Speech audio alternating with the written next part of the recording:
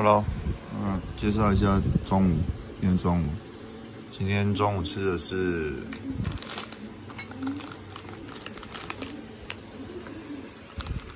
老妈拌面，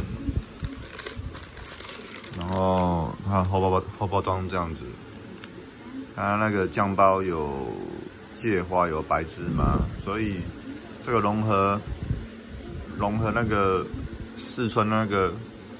花椒的香气跟芝麻，所以这包蛮好吃的。那重量一百二十九克，比较多了。然后昨天吃的这包，它面看起来很多，可是酱料包比较少，所以是九十克，差好好多了。所以不一样，面这边比较多了，这可是这个要煮比较久。这包。这包已经好多年了，我觉得这包评价蛮棒的，因为这包哈，它不仅面是我喜欢的面哦，然后重点还是有那个辣的的的口感跟芝麻的香气，所以这两种结合在一起，真的是这包面真的是很好吃，真的。因为有些是芝麻的味道，可是芝麻又缺少一点那些辣味、香气，就所以没有这么好吃啊。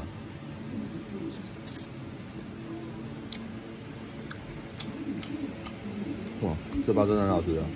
价钱跟那个 KK 拌面是一样，KK 拌面不难吃啊，它面跟跟跟这个口感差不多，可它面量太少了。那酱料包就只有花椒的香气，可是就没有啦。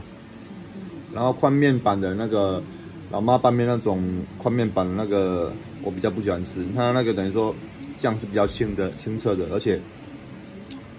而且这前我就吃过了，每包鸡肉都吃过了，就是没有像这个四川那个担担面这个嘛这么好吃。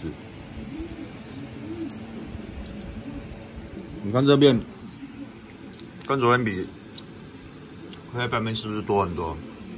对啊，超好吃的。它等于说这个酱料加上去就 OK 了，它不止变多，酱料包的的酱也是很多，所以这包真的是很有 CP 值。不过为了拍片呢，我还是会真真的尽量说，呃，市面上有的的拌拌面，我觉得比较好吃，我就会买买来吃看看，哎呀，然后当成中午，哎呀，差不多这样子。OK，好了，拜拜，再见。OK，拜拜，再见。